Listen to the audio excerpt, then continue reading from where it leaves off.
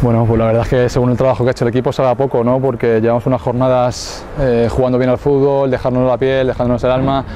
y la verdad es que sabe a poco. Sí es verdad que han tenido la última ellos en último, casi en el último minuto, pero, pero bueno, eh, hay que seguir trabajando, está la línea y yo estoy seguro que este equipo va a sacarlo. Sí, si es que el equipo está dejando el alma, ya Oviedo, el día del Manilo Banco con 8, el día de Gijón, Coruso, todo, todos los días, y no estamos teniendo esa pizquita de suerte, ¿no? Que, a veces el fútbol te la da o te la quita. Nosotros la estamos buscando, pero no la tenemos, entonces bueno, hay que tener calma, aunque son momentos complicados para el equipo y apoyarnos entre todos, que es una familia y lo vamos a sacar. Sí, sí, además que hemos salido hoy tranquilos, el campo estaba regular, se podía jugar